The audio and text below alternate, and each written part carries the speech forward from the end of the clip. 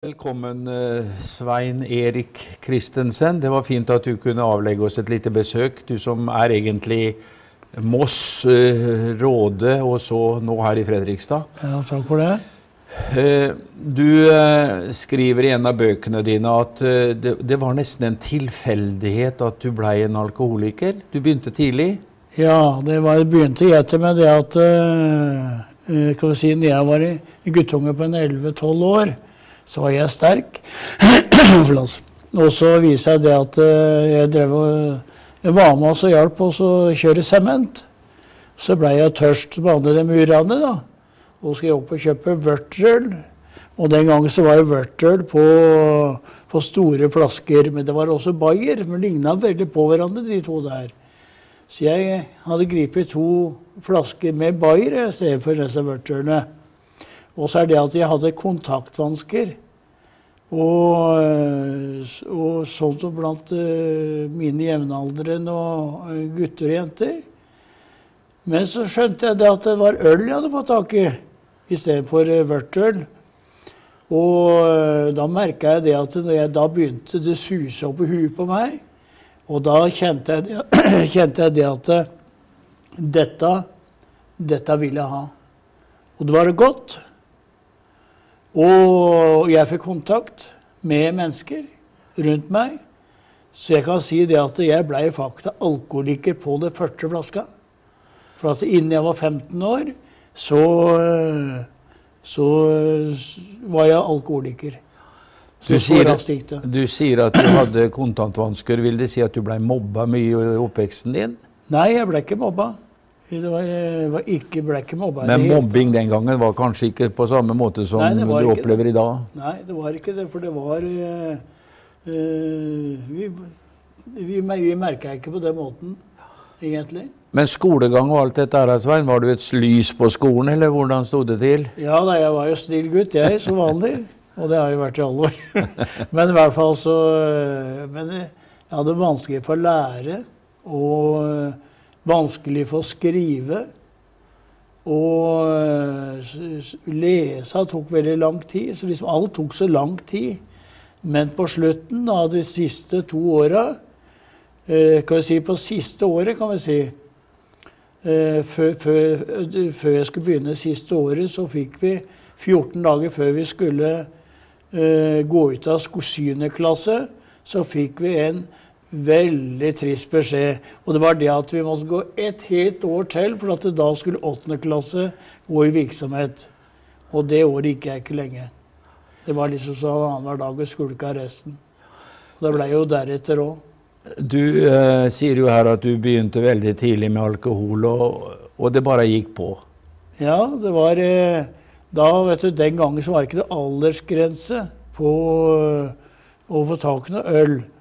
Det var eh, Du kunne gå i butikken og så kjøpe en flaske øl om det var eh, om du var syv-åtte år. Det spilte ingen rolle, for det kunne handle for eh, foreldra dine. Og så jeg var tidlig Så jeg var mye ferdig med skolen på dagen, så var jeg oppe og kjøpte øl. Og øl hadde jeg når jeg kom på skolen. Og så dette her gikk sånn slag i slag. Hvordan reagerte foreldrene dine på dette her? Jeg hadde mor og en stefar. Og mor var, var fortvila, da. Så hun ba mange gjennom dette. her, Dette gikk jo i 28 år på, på, på fylla. Og hun gråt jo mange lite tårer og bønn.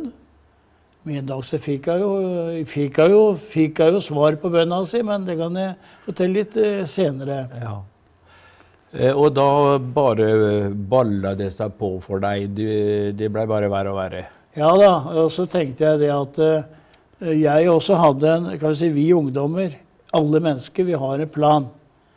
Og det er det at når du kommer i ungdomsalderen og, og oppover, så har de alltid en plan, og du følger at du vil eh, at du vil gå en vei, og det er å få tak i en dame, og for å gifte seg, og få hus og bil og, og, det som følger med. Det er liksom den planen. Men den veien der den, jeg, jeg fikk tak i en dame og gifta meg, men der blei det jo bare fyll. Og jeg drakk jo hver eneste dag i tre år, så der ble det skilsmisse. Og jeg fikk dratt henne også uh, ut på elendigheta. Og uh, så viser jeg det at uh, det ble skilsmisse. For det var jo bare fyll og fyll og fyll og fyll. Og det var det våkne om morgenen, la oss av kvelden. Bare, bare, bare tankene Det var jo bare alkohol. Og det ble jo Alt dette her kostet jo en del penger. ja, og hvordan kunne- finansierte du dette her? Jeg hadde så små, Førstinga så hadde jeg småjobber. Ja. Og øh, så var det en malermester som lærte meg å male. Og øh, når han hadde lært meg å male huser og innvendig og utvendig, så var jeg ikke akkurat øh, snill da, for at da tok jeg anbud, anbudet hans.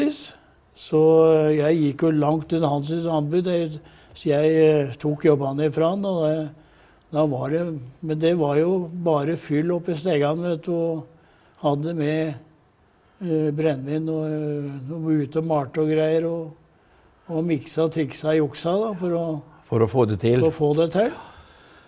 Men etter hvert så var du vel ikke i stand verken til å arbeide eller noe som helst, for da var det bare fylla som uh, dominerte livet ditt. Ja.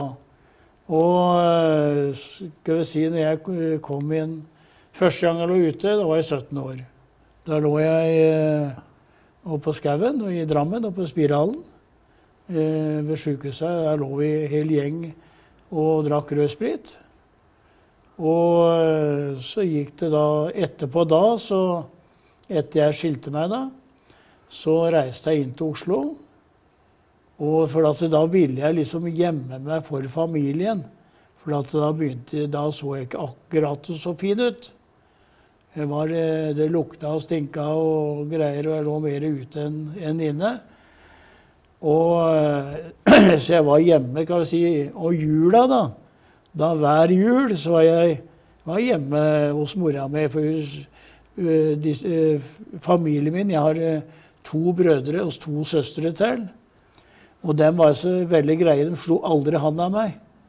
For de sa det at 'kom hjem', sa mora mi. 'Kom hjem', og, og da måtte jeg vaske meg og, og, øh, og stelle meg, da, vet du, for da så ikke jeg ut i det hele tatt. Og var rein og fin. Jeg gikk ut derifra og fått klær i julepresang, og det solgte jeg når jeg kom til Oslo. Du skriver i boka di at uh, du hadde en uh, drøm eller en opplevelse. Du lå langs Akerselva i Oslo. Og så Ja, fortell. Ja.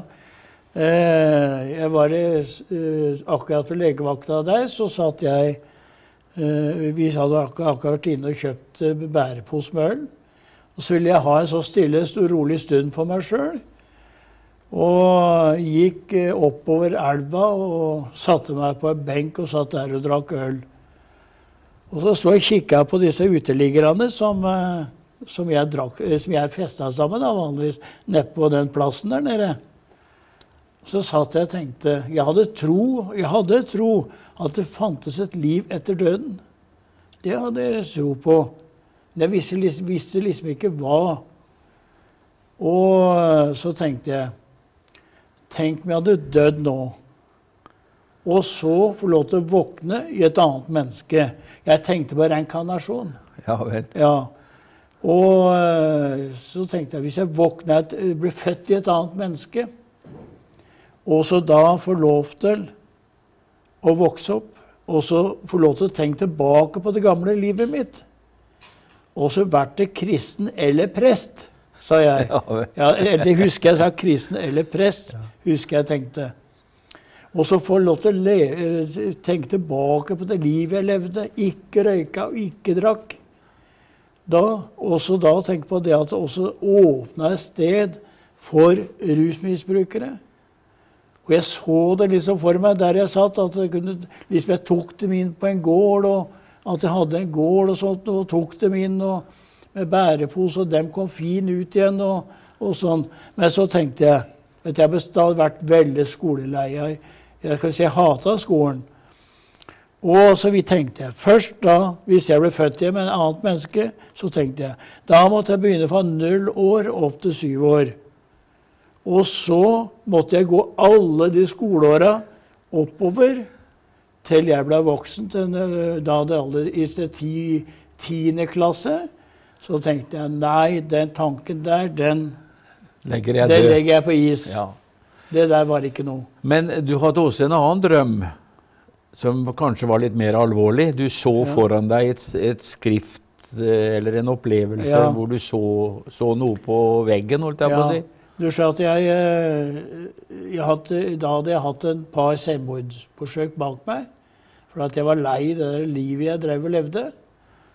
Og tenkte å få slutt på dette her.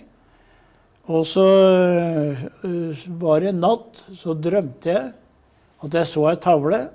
Svart tavle med gullbokstaver.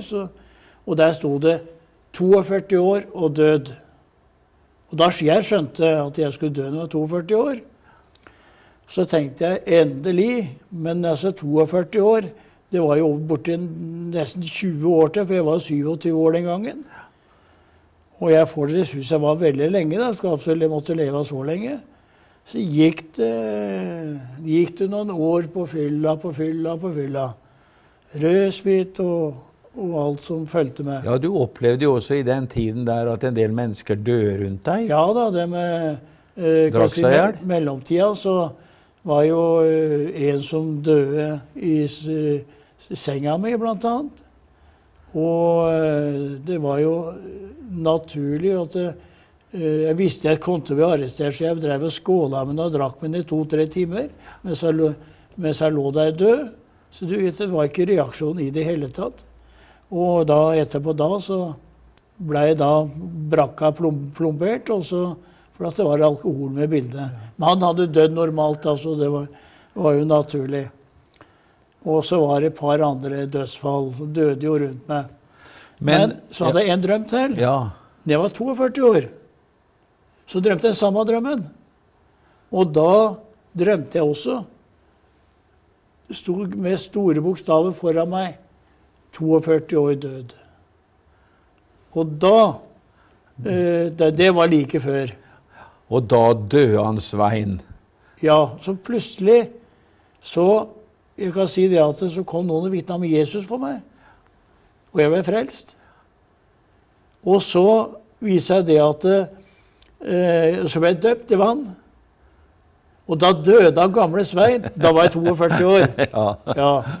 Og det var det Gud så ifra den drømmen. Så så, så Gud det at, at jeg skulle dø.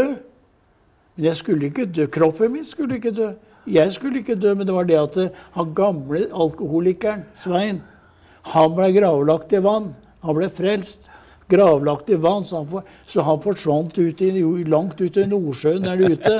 Og, og gjennom sluket etter jeg ble døpt. Og da, og da, ble jeg frelst, og da ble jeg født på ny. Ja, Rant ut gjennom Mossesundet og videre utover. Ja, da forsvant alt sammen. Ja, det er fantastisk. Ja. Og da kom Jesus inn i livet da ditt. Kom Jesus inn og da ble det et, et annet liv. Da ble det et annet liv. Ja. Eh, du, jo, eh, du sier jo at skolen det var ikke noe for deg. Nei. Og eh, norsk og skriving det var jo heller ikke noe, da, naturligvis. Nei, Men allikevel så har du jo da Ja, Jesus har gjort et fantastisk verk i livet ditt. Ja. For nå har du jo skrevet ni bøker. Ja, visst. Og bare det i seg sjøl er jo et under. Ja, visst. Og eh, det kom av det at denne første boka her, den er fra helvete til himmel, den, eh, den, eh, den boka der den, så plutselig en dag så taler Jesus til meg. så sier jeg, jeg, var, jeg bodde på en anneks i, på Solåsen. Vi lånte det var Jesus Arket menighet. Og vi lånte Leide det hotell Nei, ikke hotell, det, det, det stedet av han Jan Hannevold. For han eide det den gangen. Og så, eh, så plutselig en dag så taler Jesus til meg. Klart og tydelig. 'Svein, du skal skrive om livet ditt.' Å nei, sa jeg. Det, det vil jeg ikke. Og så snakka jeg med Jesus, akkurat som jeg snakker med deg nå. Så sa jeg eh, at jo, sa det skal bli til frelse og velsignelse for mange mennesker. Så viser jeg det. Så sier jeg, 'Jesus', sier jeg, 'er dette fra deg?' Så skaffer jeg skrivemaskin. Og så gikk det 14 dager, så hadde jeg glemt denne, dette det jeg hadde snakka med Jesus om. Så var det plutselig en dag så kom en og spurte meg 'Svein, har du lyst på gammel Remington skrivemaskin?' Ja. Og det var den derre gamle Remington som du måtte slå i tagentene, og så måtte du ha tak i rettetast. Ja. Så var det en i Moss da, som drev med gamle, gamle skrivemaskiner. da.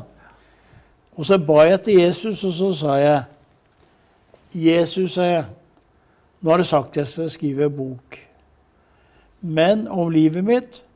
Men jeg husker ingenting tilbake i det hele tatt.